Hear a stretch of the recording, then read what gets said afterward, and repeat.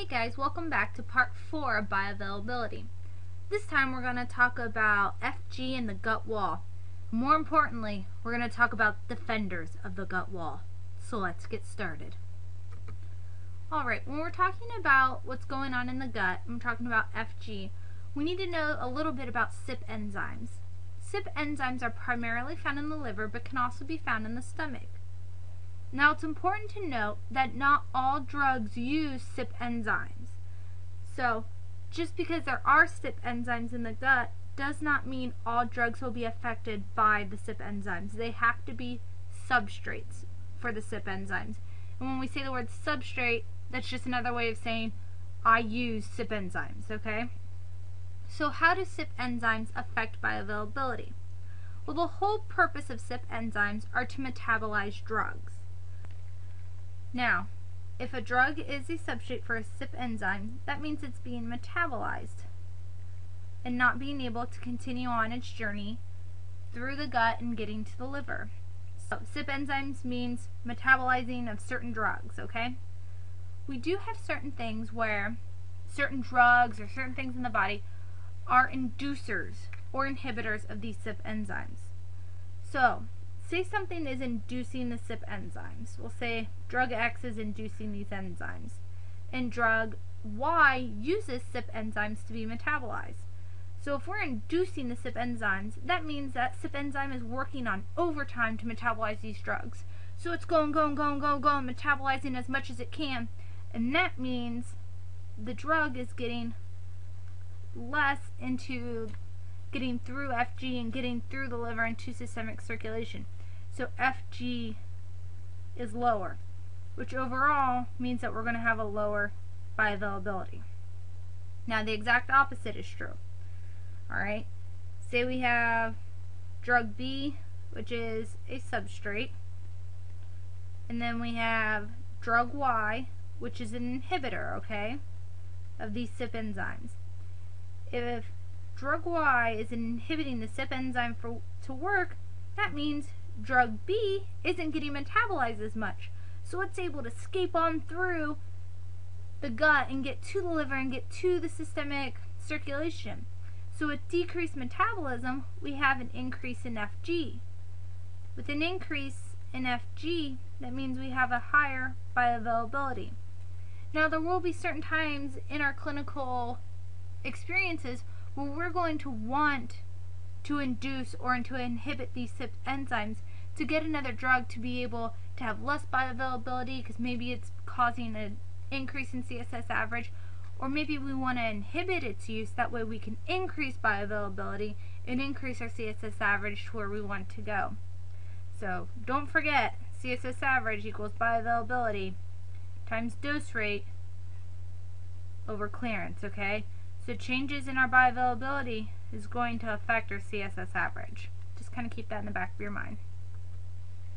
Now, along with CYP enzymes, we have things known as P-glycoproteins, which is also expressed as PGPs um, or PGPs with a dash in between. Regardless, P-glycoproteins are part of an efflux transport family that's found in the gut.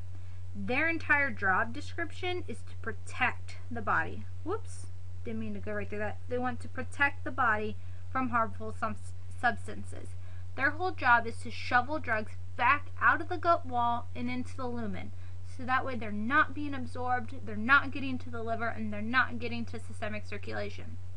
Think of the P-glycoproteins as bouncers at a club or something. So originally they're just standing there, and then maybe when they weren't looking, a drug sneaks by and gets into the club. The P-glycoprotein looks back, see that the drug got in there and didn't like it, grabs it by its shirt and throws it out onto the street.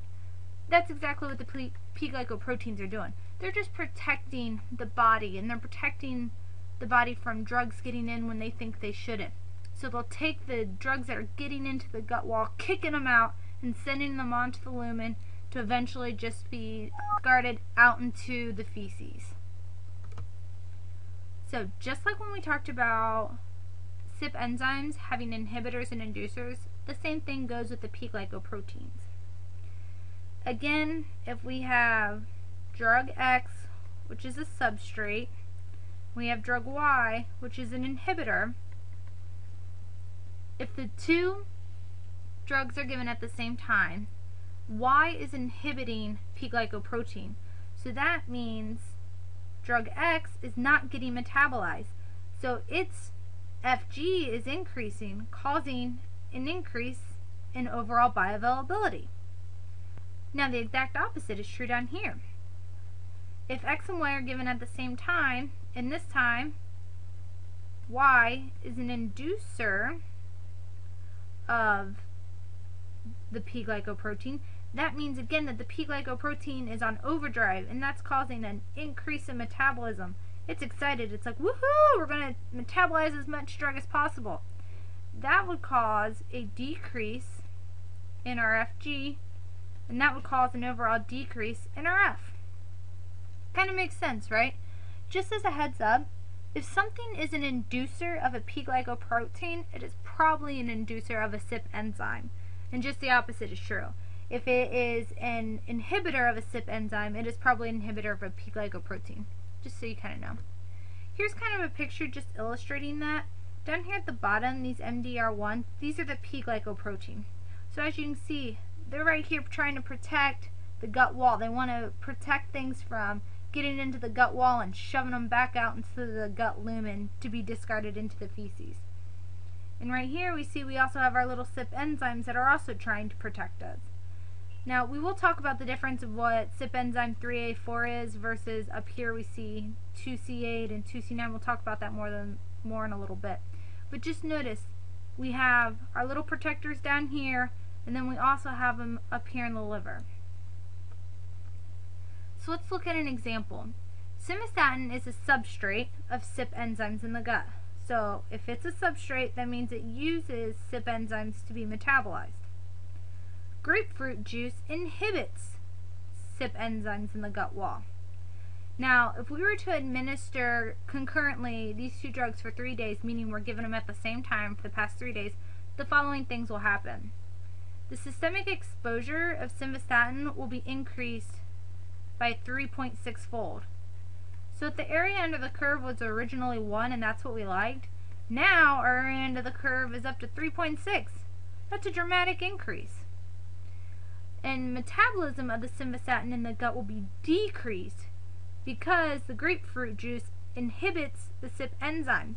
So that means we're decreasing the metabolism here. And by decreasing the metabolism, we're increasing our FG, which means we're increasing our overall bioavailability. So, kind of just what I said right here. And if so, this can be very dangerous because this can cause serious side effects that are harmful to a patient, which is exactly what we don't want to do. This can cause rhabdomyolysis. So it's our job as pharmacists that when we see a patient getting something like simvastatin to ask them, hey, do you drink a lot of grapefruit juice? If so, this is what can happen. And this would be a great time for an intervention, guys. Alright, that's really all I have for you for bioavailability of the gut. I hope that kind of explained things. I know there's a lot going on there with CYP enzymes and P-glycoproteins, but just take it one piece at a time, and if you guys have any questions, just let me know. Thanks for listening, guys.